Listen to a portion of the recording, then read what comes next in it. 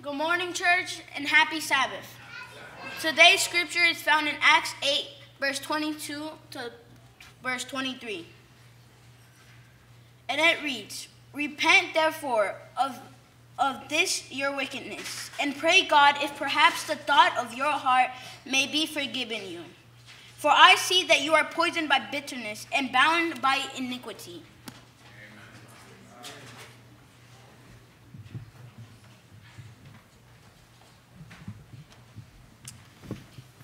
Morning, Saints. It's my pleasure to be with you today again. Um, I always like to kneel down and uh, I always like to kneel down and pray one more time before I share the Word of God with you. So if you'll bow your heads with me, Lord God, speak to us now. We're here to seek you, to pursue your truth, to understand you.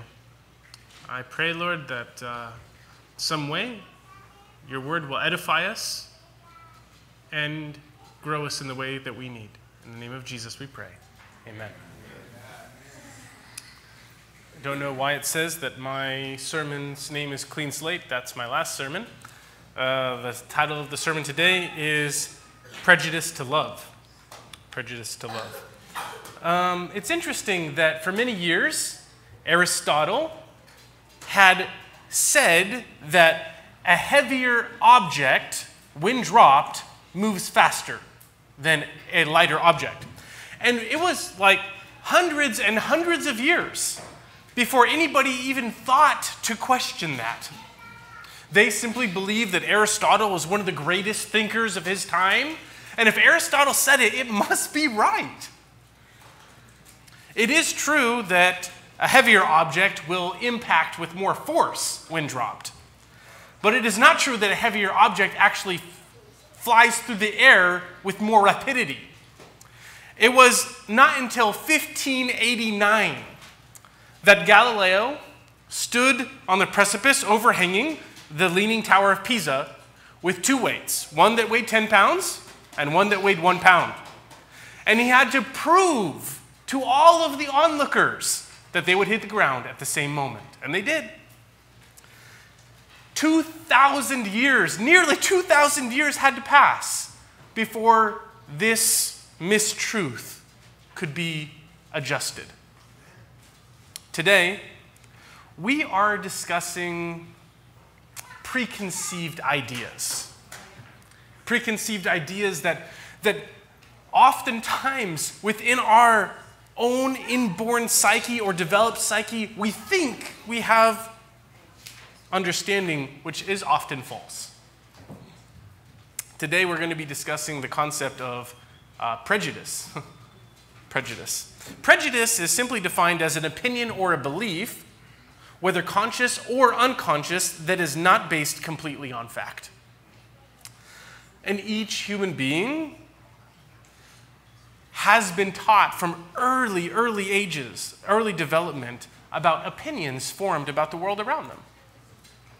These opinions and beliefs are often based on certain experiences that actually did happen, but may have developed into generalizations about life itself. We can prejudge many different things in life, but probably the most controversial issue is prejudice in regards to racial issues. Today I'm going to be discussing racism in the Bible. Not a fun topic, but a topic which the Bible repeatedly addresses. Racism in the Bible. The problem is, is that historically, Jews were set up in some ways, I think, to develop racist bias. Here's the problem is that Jews uh, knew that they were called. they were called, and they were called um, by Abraham and Isaac and Jacob, their, their, their parenthood, their, their leaders of their, of their nation had been called and separated apart. And so there came with that a bit of an air of um, importance and expectation. And, and the Bible is very clear that God created a covenant with a particular national group. Well, it's hard not to begin to think that you're something special if you're part of that group. And God specifically told them to minimize time spent with other nations because of the negative influence that it would have upon them. Because of idolatry and other immoral practices, God encouraged them to try to spend less as little time as possible because of the influences that it would bring into their lives. And so, with all of this package that Jews of the Bible inherited, they developed a natural bias. A bias that they were special and privileged, and others were outside of the covenant of God. A bias that was not unconscious bias, as we talk about today, but very much conscious bias. They believed simply that Jews were better than people of other nations. Jews were blessed, others were not. Gentiles were not blessed. And it took the New Testament Christians years and years and years to address this issue. We're going to talk about some of that today. Um,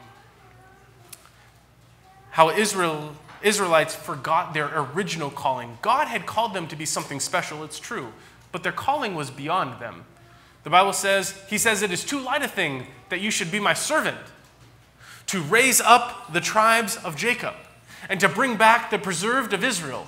But I will make you as a light for the nations. Here, and he says that you shall bring back the preserved of Israel and make you a light, or my salvation shall reach to the end of the earth. Here, here's a very important concept is that the, the Jews, yes, they were set apart, they were special, but God had made them special so that they could be a light to all the rest of the world. They had lost sight of their great calling. They had begun to think more and more about them themselves being the fulfillment of the great promise.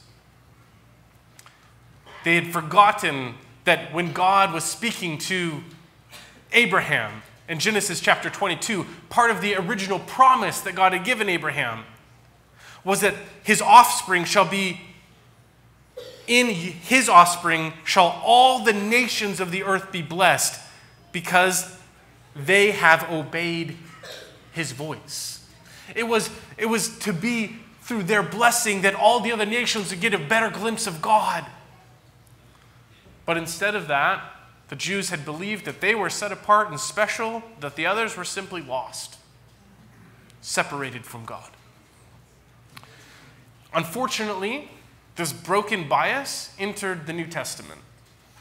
Let's fast forward now all the way to the New Testament and some of the racism and nationalism that was rampant in Israel during that time.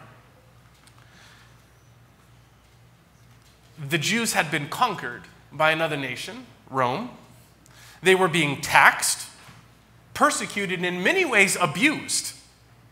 Eh, eh, they hated the Romans.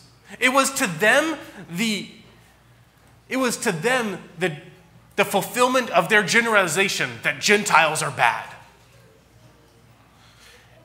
Their entire philosophy of the coming Messiah was built upon a nationalistic philosophy. That when the Messiah comes, he will overthrow these horrible Gentiles and once again establish the blessed people of God in the promise that he gave to us. This created inherently a racial prejudice and a theological bias and a confused nationalism. Their belief about the Messiah was all about overthrowing the bad Gentiles and reestablishing God's people their teaching ended up being not MAGA, but MIGA make Israel great again. Their philosophy of Israel was, and the Messiah was all about this racism, essentially, at its core. They believed it so much so that they believed that it was a positive virtue and a spiritual value to think this way. Satan knew that he could divide and destroy God's people and hurt his mission on earth if he could simply convince God's people to be racist and self focused. And this is one of the greatest tools that he has been using throughout the history of time. All throughout the New Testament and Old Testament, we see, unfortunately, division in the unity of God. Of all moments in time, when the people of God were the most united, if you can look back in, the history of humanity and find one moment where God's people were the most united, the most committed, the most powerfully following God, it would be that time shortly after Pentecost, where thousands of people had been converted, and Christians were selling their property and living in a commune experience and supporting one another, sacrificing for the cause. But yet, even in that moment, Satan had, had twisted and maligned this circumstance to try to manipulate people and turn them against one another in Acts chapter 6, verse 1, there became an issue that arose. I already preached about this a few weeks ago, but I'm talking about the history of racism in Christianity. It says, Now in these days when the disciples were increasing in number, a complaint by the Hellenists arose against the Hebrews because their widows were being neglected in the daily distribution. By the way, it's not clear from Scripture whether that was actually happening or whether some people felt like that was happening. Either way, there was a division that had happened, and, and Satan saw it. He saw the unity and the direction that the church was heading. He said, I have to destroy this. What more can I do? I know what I'll do. I will make them try to get into racial issues again. Today, we may become discouraged by the prejudice that is all around us. Let us remember that in the moment where there was the most unity ever in, in world history, in a Christian experience, there was still issues of racism, unfortunately. I believe that this issue of racial prejudice must be addressed and must be confronted directly and respectfully. But at the same time, let us not think that ever in this life this issue will completely disappear. Bias, generalizations, and prejudice is part of our broken human nature. And that being said, it has infected the New Testament church from its very inception. Today, we're going to be talking about some prejudice that existed, probably the, the deepest prejudice that the New Testament Christians had. And that was the prejudice against Samaritans. After the stoning of Stephen, so we've been going on a history now through the through the book of Acts. We're now in Acts chapter 8. We covered in our last story, my last sermon, we covered the stoning of Stephen and how after the stoning of Stephen, it led to a massive persecution against all of the Christians. And there were a lot of Christians in um, Jerusalem, and they had to flee and run for their lives because of the persecution. And as the people began to flee, it says in Acts chapter 8, verse 4 Now those who were scattered went about preaching the word. Now, previously, to this moment, all of the Christians had been huddled into their little groups with like minded people that were ethnically and theologically like them. I believe that it was something that God allowed the persecution to force Christians to fulfill the mission which God had, pro- had proclaimed that they were supposed to do. It was only after this that the gospel goes to Samaria in a powerful way. The very next verse, Acts chapter 8, verse 5, Philip went down to the city of Samaria and proclaimed to them the Christ. And, to the Jews, I mean, you have to place yourself in the mindset of the Jews. To them, they're thinking, Samaria? Samaria? Why, of all places, why would you go to Samaria? Uh, they believed that the Samaritans were beyond salvation. They believed that they were outside of the covenant and there was nothing that could be done to save those horrible and wicked and worthless people. That was the mindset of the Jews of those days. We have to go through a little bit of the history of the hatred between Jews and Samaritans and unpack it a little bit. And I believe that it may in the end shed some light on the brokenness that still lives within our human society. The history of the hatred, there had been a long history of hatred between Jews and Samaritans. Samaritans, who are they in the first place? That's a question that we should ask. Well, at one point in time, you remember that the 10 northern tribes had been conquered by Assyria, destroyed, and many, many Jews, or not, sorry, not Jews, many Israelites from uh, the 10 northern tribes have been deported and removed to different nations throughout the world. And then they brought other people from other nations and brought them into Israel.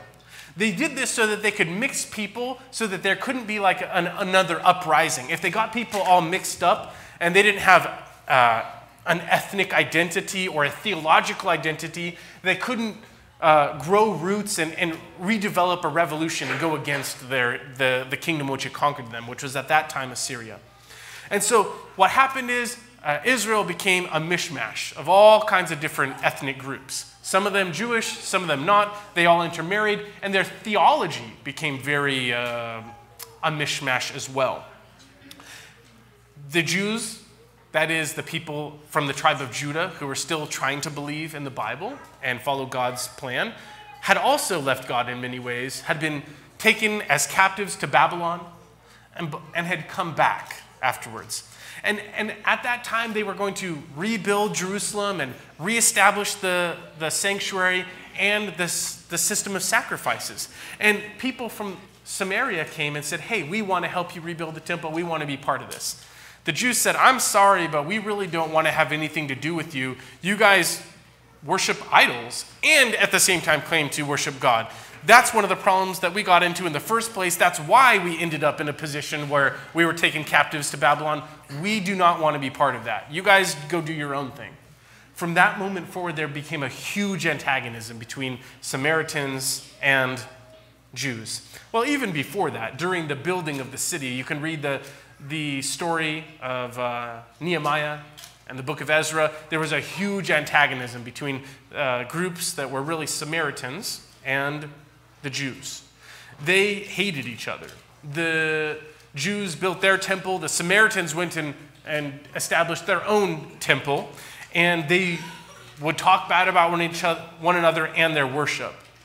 It got so bad that Samaritan became a curse word. Samaritan became a curse word in Israel. You know, when I was younger, I used to struggle a bit with cursing. And uh, somehow I started hanging around some other kids that had developed a bad language. And I picked it up from them and was using some foul language. At some point, I decided that I was convicted about it. I wanted to stop. So I asked my friends who are Christian, help me stop cursing. And they said, okay, this is what we're going to do. If any bad word comes out of your mouth, we're going to punch you. I thought, well, that sounds like a good idea. At least, you know, it helped trigger. Well, it worked for a little while, but my arm started getting sore after a few hours. And uh, eventually, God has helped me address my language issues, and by God's grace, I try not to ever use curse words today. But back in the days of Jesus, the word Samaritan was a curse word. I'll show you the story, it's kind of crazy. Um, Jesus had been talking with the Pharisees, and he had explained to them that they were slaves to sin and error and confusion. They responded back and they said, We're not the offspring. We are not slaves. We're the offspring of Abraham. We've never been enslaved. How is it that you say that we need to be set free? Jesus said, Listen, you're not the sons of Abraham. You have a different father. Because if you were the sons of Abraham, you would accept me because Abraham spoke of me. Well, they didn't like that, and so they attack Jesus back and they say, sorry, this is uh, Jesus speaking to them. He says, You're doing the works your father did. And they said, We're. Jesus, they respond to Jesus and they say, We were not born of sexual immorality. In other words, they knew that Mary got pregnant before Joseph and Mary were engaged, or before they were married, rather. And so they say, Hey, you're a product of sin. Uh, there's uh, another curse word that refers to children born out of wedlock. They were using that word in reference to Jesus. I'm not going to say it out loud, but you probably know the word, unfortunately. Uh, so Jesus responds to them after they call him uh, a man born of sin. And he tells them these words You are of your father, the devil and your will is to do your father's desires. He was a murderer from the beginning and does not stand in the truth because there is no truth in him. And when he lies, he speaks of his own character, for he is a liar and the father of lies. Ouch. Now, of all things that Jesus has said, this has got to be one of the most harsh things he has ever said. Tough words. He calls them children of Satan. Many people say that Jesus was always gentle. Listen, brothers and sisters, Jesus was always right. He was not always gentle. There are some moments where Jesus uses some pretty tough language. He calls them children of Satan. They're trying to think of some other thing to attack Jesus back with, and the worst thing they can think to say to him, the worst curse they could call upon him, is they said, You the Jews answered him, Are you not right? Are we not right in saying that you are a Samaritan and have a demon? That was the worst cuss they could think of. You're a Samaritan. That's what you are.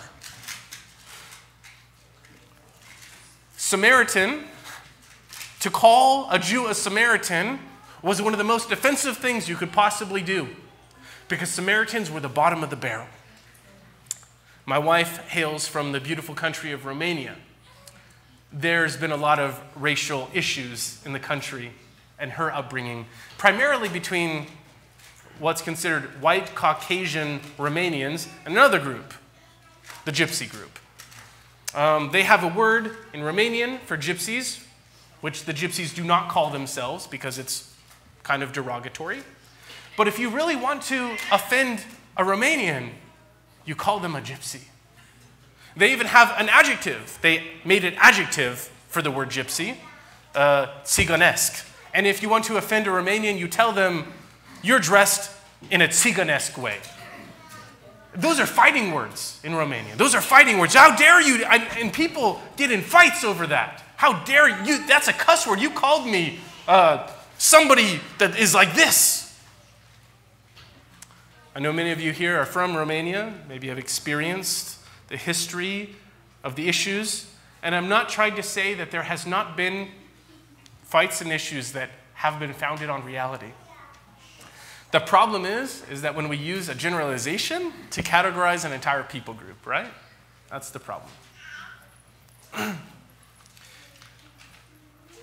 I'm going through all of this to explain so that you understand the depth of the hatred that Jews had for Samaritans.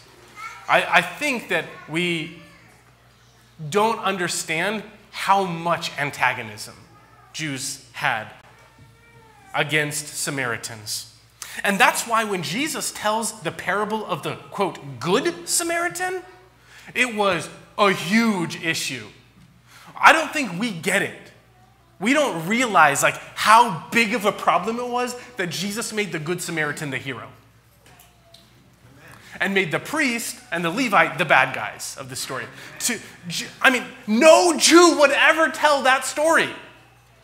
That was extremely offensive to everyone listening in the crowd. For, for Jesus to tell the story of the cherished leaders, the priests and the Levites, being bad people who don't help someone in need, and the Samaritan being the good guy, to them, it was just too much for them to handle.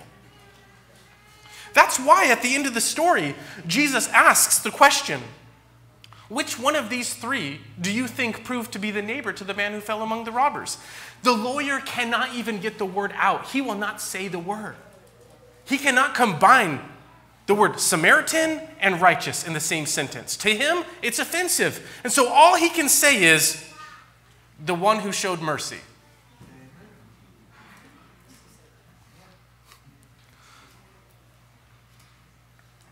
Jesus had been working to upset and pull out the rug from under the racism of his own people, but it was so deeply ingrained. It was so deeply ingrained. That's why when you see this verse about God's people going to the Samaritans and converting large swaths of people, that is crazy whenever you understand the depth of hatred that they had. And you can think about all of the other stories of the issues between the Jews and the Samaritans.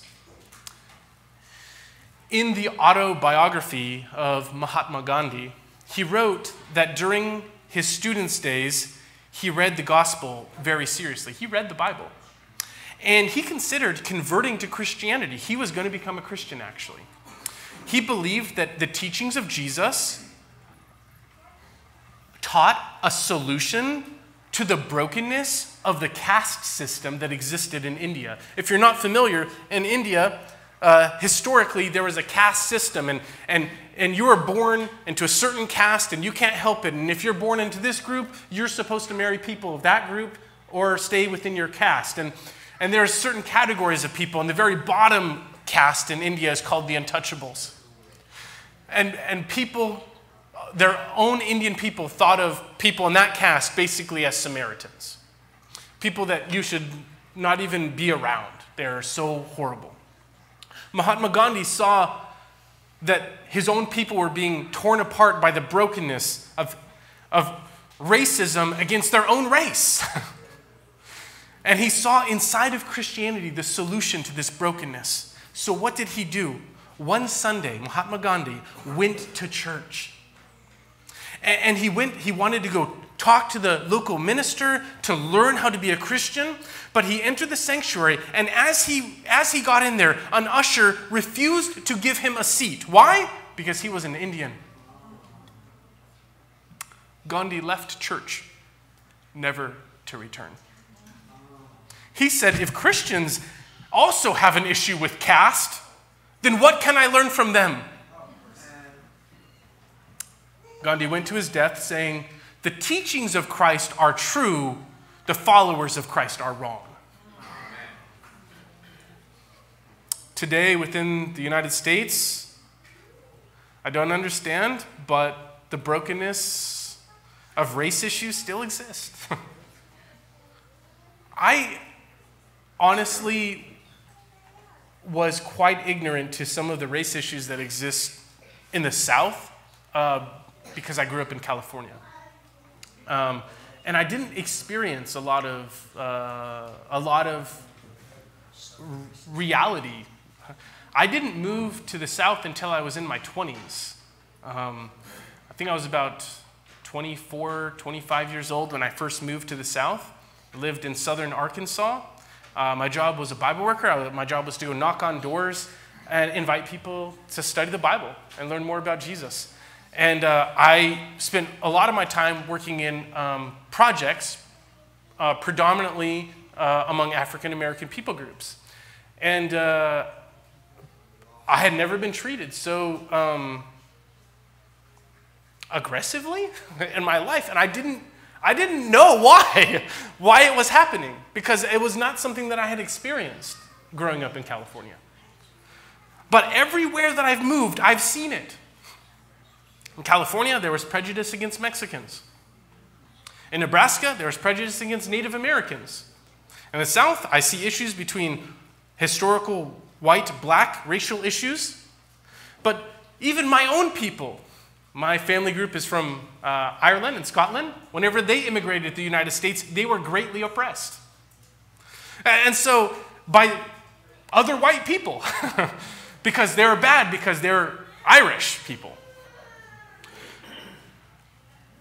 The world around us is broken. Broken.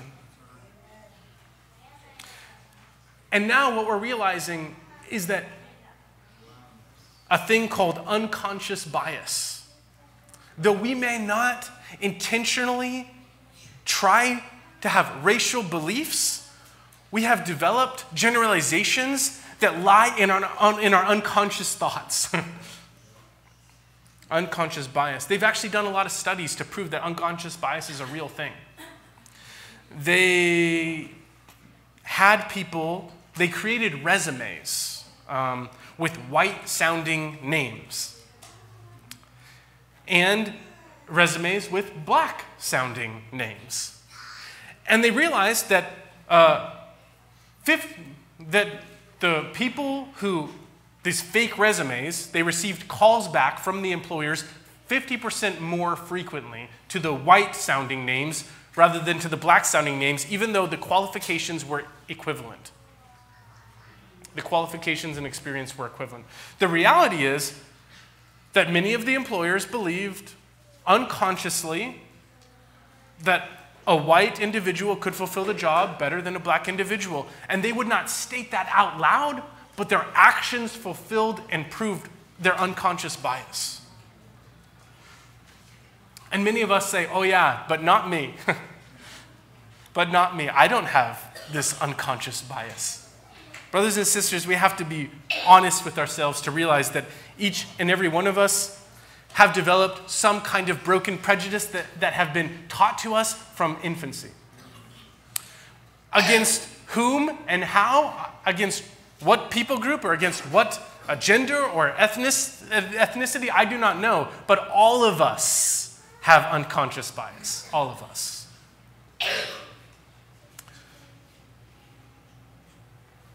I didn't ask permission from my wife to share this story, but I'll probably get in trouble afterwards. Um, my wife, from a very unconscious bias, is taught to you as a, as a tiny child. Okay? My wife was on a bus one day as a young, young child, probably three years old. And uh, people were holding on to the straps and stuff like that. And she told somebody, Don't hold on to the handles in the bus. And they said, Why? And she said, Because there's germs. Her mom was a kind of a germaphobe, still is. And she, she was telling the people on the bus, Don't touch the handles because there's too many germs. And they said, Little girl, you're three years old. Do you know what germs are? And she said, Yes, germs are gypsies. Three years old. Her mom never said that germs are gypsies. But her mom had created a bias that gypsies are unclean. Listen, I'm not here to hate on my wife or her mom, but I, am here to identify a reality that we, we program our own children with brokenness. Perhaps it's not, perhaps, I, perhaps my kids don't know about that particular bias, but they've been developing some. Whatever the bias is, I don't know. But when adulthood comes, they're going to discover their own bias that I, that I programmed into them, that I reinforced because of my own generalizations that damaged my own kids. Brothers and sisters, we have to try to make choices to be intentional to break down our own unconscious bias so that we don't unconsciously pass it on to our own children.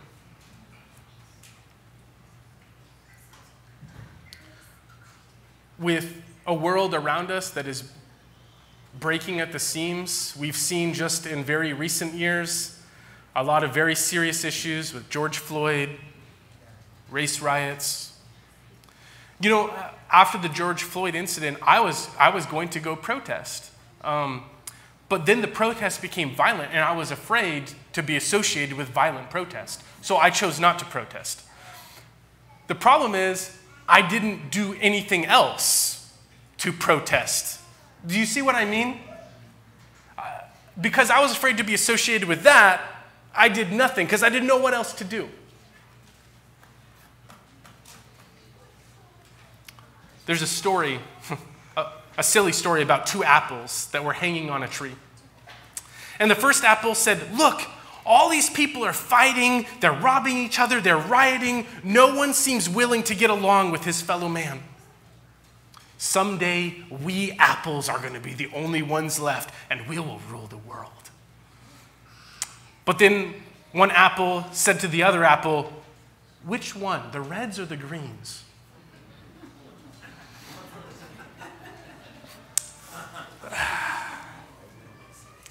yes, it makes a point. The point that brokenness seems to pervade everything in this world. Prejudice runs deep, deeper than we realize, deeper, deeper than even unconscious bias. There's a saying which I very much like. It says, given half a chance, people will often crawl out of the boxes in which we have relegated them. given half a chance, people will often crawl out of the boxes into which we have relegated them. the profound thing that changed God's people is the Great Commission. That is the, the one thing that, that forced them to address their prejudice. Because in Acts chapter 1, verse 8, God said, But you will receive power when the Holy Spirit has come upon you, and you will be my witnesses in Jerusalem and in Judea and Samaria and to the ends of the earth. Well, the Jews would have probably had no problem with that, except for there was one word, it said Samaria. And they're like, wait a minute, okay, yeah, to, to, when, when he says the word Jerusalem, say, yeah, amen. When they say Judea, yes, amen. But then when he gets the word Samaria, oh, whoa, hold on, Jesus. I don't know about that one. Can those people be saved?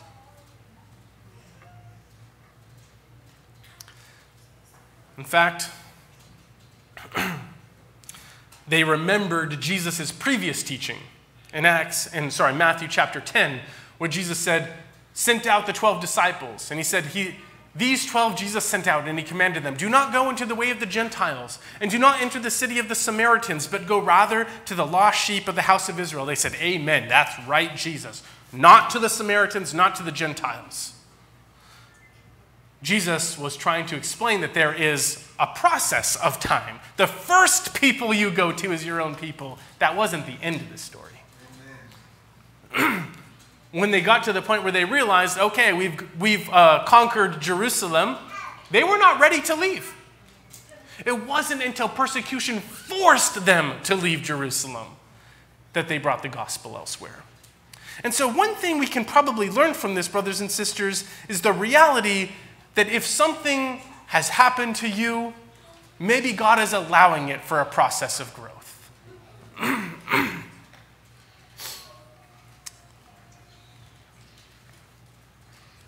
The Samaritans were the Jews' bitterest enemy, and yet they were the place of asylum during persecution.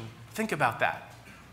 When their own people, the Jews, led by the persecution of Saul, were killing Christians left and right, one of the first places that they could flee to was Samaria. the place where they thought they would never want to spend a day. In fact, the Jews literally would go around Samaria but they would go miles and miles and miles walking out of their way just so they wouldn't have to walk through Samaria. And yet, the first place that they ran to when their lives were in danger was Samaria. it was an asylum for God's people. It was the first great mission field after Jerusalem. You remember the story of the woman at the well. God's people never understood that. God's people never really got why, uh, got why Jesus would even talk to a Samaritan woman in the first place. But Jesus understood what he was doing. He was breaking down prejudice because he knew that someday his disciples were going to come back to this place. And he wanted their truth to be received well. At the end of the story, you remember how amazing it was. It says, Many of the Samaritans of the city believed in him because of the word the woman testified. He, they said, He told me all that I ever did. And so when the Samaritans had come to him, they urged him to stay with them. And he stayed there two days, and many more believed of his own word. Many Samaritans were being converted during the lifetime of Jesus. And it's interesting because if you look in the Gospel of John, uh, the woman at the well is chapter 4, very much towards the beginning of the Jesus' ministry. It happens right after chapter uh, 2 is uh, the wedding at Cana. Chapter 3 is Jesus' discussion with Nicodemus. Chapter 4 is the woman at the well. So it's early in Jesus' ministry. Does that make sense? Early in his ministry. the disciples are confused about why Jesus spent any time witnessing to the Samaritans. And Jesus was more than anything not just winning Samaritans, but trying to teach his own people that everyone needs truth and everyone needs love. But after three and a half years of Jesus' disciples learning of him, their prejudice was still very much intact. their prejudice was still very much intact. One day, um, Jesus was on his way to one of the feasts in Jerusalem. This was shortly before Jesus died. It says, And when the days drew near for him to be taken up, he set his face towards Jerusalem. And he sent messengers ahead of him, and he went and entered a village of the Samaritans to make preparations for him. But the people did not receive him because his face was set towards Jerusalem. And when his disciples James and John saw it, they said, Lord, do you want us to tell fire to come down from heaven and consume them?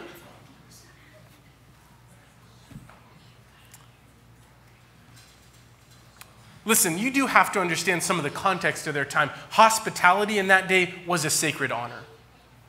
It was a sacred honor to offer hospitality. We don't understand anything about hospitality. People talk about Southern hospitality. Southern hospitality is a far distant understanding from biblical hospitality. In biblical times, hospitality was a sacred honor. To give somebody water was something that you would never refuse. Remember, when Jesus asked the woman at the well, the one thing that he knew could bridge the gap was, please give me water. Because nobody would give, would deny that to their worst enemy.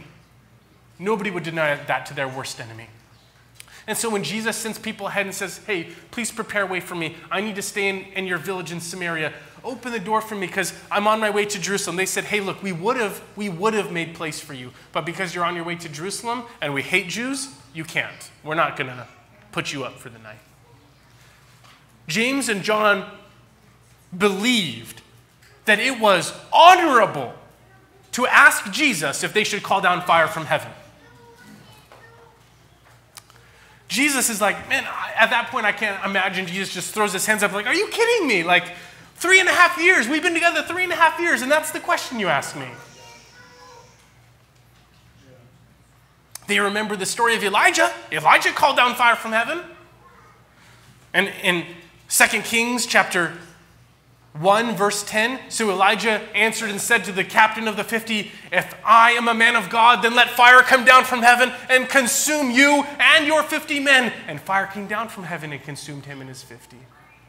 And they say, Elijah did it. It was righteous when Elijah did it. We should call down fire from heaven on these horrible Samaritans for not honoring our master. And Jesus simply replies with, he rebuked them and said, You do not know what manner of spirit you are of. For the Son of Man did not come to destroy men's lives, but to save them. And they simply went to another village. Brothers and sisters, I go through all of this history of brokenness to help us realize that unfortunately, we broken human beings stand in good company with all of the other broken human beings that preceded us. And let us not be so confident to believe that in some way we do not fit into that group with James and John. Perhaps we are not calling down fire from heaven on any one people group. But our own brokenness still lies within our heart, the generalizations that we have created through our history. That is within us. It's Satan's hold still in the broken human heart. But what changed it? What changed? How is it that they went to Samaria and converted lots of people? Here in the story, in Acts chapter 8, verse 4 through 8 says, Now those who were scattered went about preaching the word, and Philip went down to the city of Samaria and proclaimed to them Christ, and the crowds with one accord paid attention to what was being said by Philip. And when they heard him and saw the signs that he did, for unclean spirits were crying out with a loud voice and came out of many who had them, and many who were paralyzed or lame were healed. So there was much joy in that city. What changed?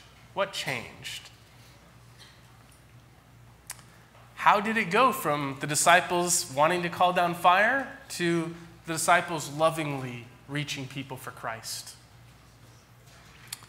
Well, we would like to believe that it was the Holy Spirit's descent on Pente- at Pentecost. And in some ways, that's true. But I already showed you another Bible story where even while they were living in a commune, there was controversy. And we would like to believe that after this moment, forevermore, all Christians loved everyone and there were never any more issues and everybody lived happily ever after. Unfortunately, it's just not true.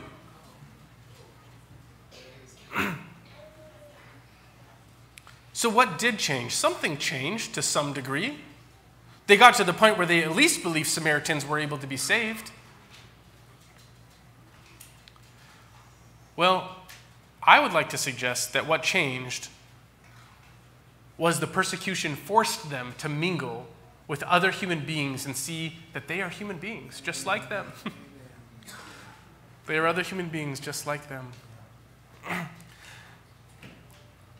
Unfortunately, there are many other stories in the distant future, past Pentecost, where we see people still having issues with ethnic problems. Uh, just look at the story of the Jerusalem Council. The question was can we um, have Gentiles join Christianity? Yes, we know that they can join now. Well, some of them didn't even know that. That was still an issue. That was even at the Jerusalem Council, which was at least 15 years after Jesus died. Okay? At least 15 years later, some were still questioning whether Gentiles can even be Christians at all. And then others agreed that they could be Christians, but they're not sure if they have to be circumcised yet. And so they were still struggling with this stuff years into the future. What parts of the Old Covenant still apply? What parts don't? Is there still a separation between Jews and Gentiles? And, and man, it took Paul conversation after conversation. And we like to think that it was just like some Christians who were kind of messed up. But, but Paul says very clearly that many, many leaders in, in Christianity were struggling with this in Galatians. It says, But when Cephas, that's Peter, Peter, one of the great disciples of Jesus, when Peter came to Antioch, I opposed him to his face. Why did he oppose him?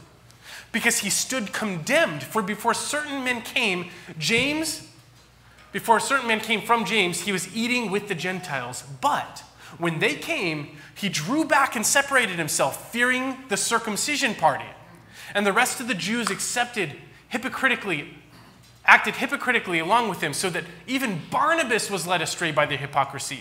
And when I saw their conduct was not in step with the truth of the gospel, I said to Cephas before them all, If you, though a Jew, live like a Gentile and not like a Jew, how can you force a Gentile to live like Jews? This is years after the cross, saints. Years. They're still trying to decide if it's okay to eat with Gentiles or not. Are you following this? And, and by the way, this addresses many other issues of feast days. Uh, and people say, oh, but people kept feast days after the cross. Brothers and sisters, it took them years to try to figure out what still applies from the Old Testament and what doesn't. That took decades for them to work through that stuff. Don't don't say, oh, because so and so did something in the Bible, that means that that was God's plan or organization. No, no. We have clear evidence of great leaders making bad mistakes in history. What we know today is simple that throughout the New Testament, even years into the Christian church, they were still struggling with issues of racism. It took them a long time before they even got to the point where they realized that Gentiles hold the same place that they do in the Christian church. and I'm thankful they did because I'm a Gentile. and probably the vast majority of everybody here is, unless you're actually ethnically a Jew. I want to close with this. Um, there was a man named General Robert E. Lee.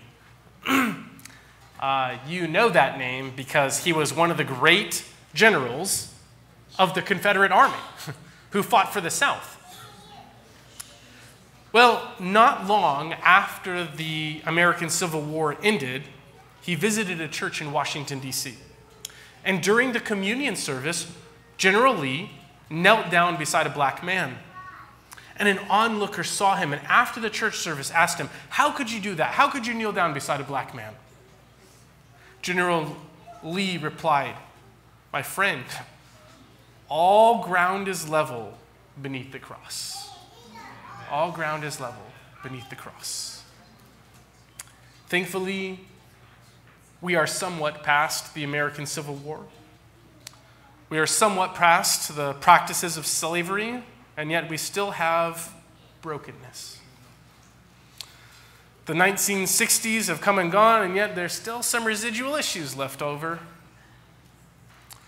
Sadly, decades later, it's still like the Christians were after Jesus had already taught them many teachings of life. How can we overcome this, brothers and sisters? We will overcome it in the exact same way that the disciples of the New Testament overcame it, and that is by powerful service. That is by motivation to serve.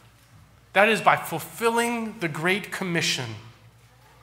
When our greatest priority is to find people to love and serve as Jesus, those things begin to fade, and our broken, unconscious bias begins to change.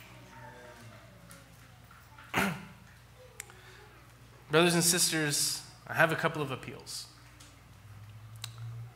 My appeals are specific in nature. I see within our own congregation a beautiful diversity. I love it. And yet, as soon as the benediction is said, I see people in their little cliques. And most of the time, quite frequently, it is cliques based on ethnic groups. How is this? Yes, I know it's fun to talk to people who speak your language or understand your cultural background or whatever. We all like that to a degree. We all enjoy that to some extent. But, brothers and sisters, let's push past the cliques. We have to force our ourselves to spend time with people that come from very different cultural backgrounds than us. And yes, some of that is going to grate on us because it's different. But as we push past that uncomfortable moment, we get, begin to see each other's hearts. The heart that, yes, we're all broken, and yet the heart that we all love Christ and one another. Amen. My final appeal is to serve and to serve with passion. To find individuals to serve that are very different than your own, your own family. To find people to serve that are perhaps affected by the prejudice of your grandparents. Serve and serve with your heart. And through this, by God's grace, Jesus will transform our lives. Amen. With this, let us stand and sing our closing hymn.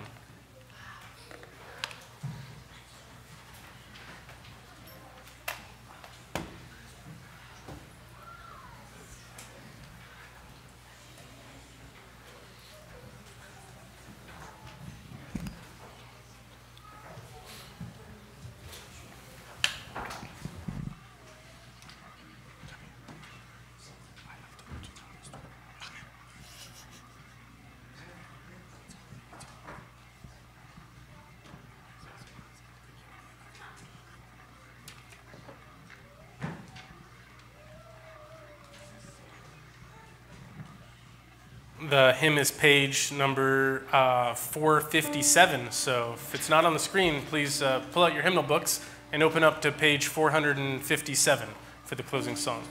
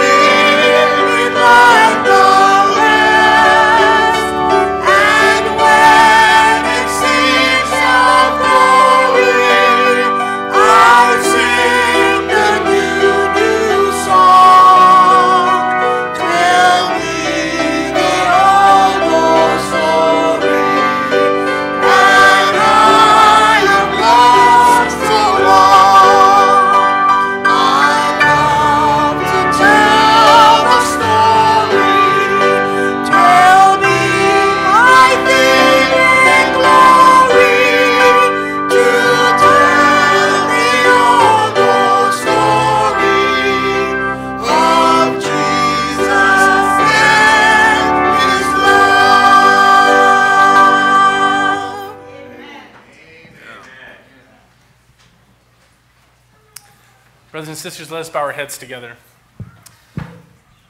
Lord God, thank you for your love, the story of your love. It's, it gets past all of our brokenness. You example perfect, selfless love for us.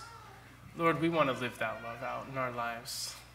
Lord, we want to we want that love to break down all of our own prejudices. The, even the unconscious ones that we don't even realize we have. Lord, may that love pervade our lives to the point where people will know that we are something different, different from the world around us, because we're filled with you. This we pray in the name of Jesus. Amen. Amen.